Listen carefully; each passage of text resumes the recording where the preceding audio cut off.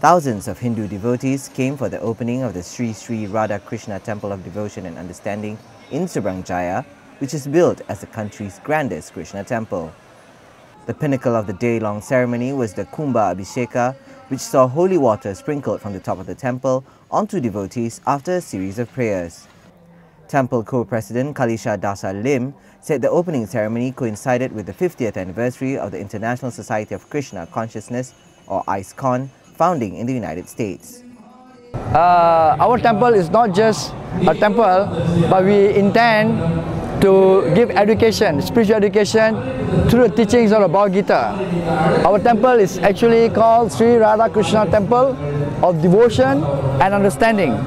The understanding is where we will teach people about uh, spiritual life, spiritual knowledge, and with this understanding, they will dedicate themselves with devotion to the Supreme Lord.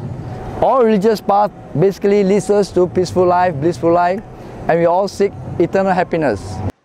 The ceremony began at 6 a.m. with teachers and students from the ISKCON's International School at its headquarters in Mayapur, West Bengal in India, performing rituals at the three-story octagonal-shaped temple.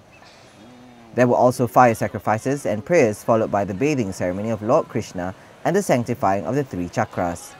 The 7 million ringgit temple, which took 6 years to build, is touted to be the first Hindu temple in the country to have 16 chhatris or ornate dome-shaped pavilions, two octagon skylight domes and three main shikara domes.